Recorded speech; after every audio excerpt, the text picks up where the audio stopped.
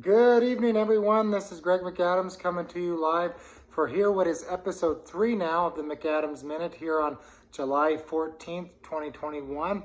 And a uh, real quick episode today, uh, recap of what I did yesterday. My uh, friend Chad correct uh, corrected me um, that the Bucks game I was talking about yesterday is actually tonight. So the learning lesson is if I want to make any success with the channel or just having fun with it, always look up even before you know. So tonight is the Bucks Suns NBA Finals game, and I'll repeat what I said yesterday.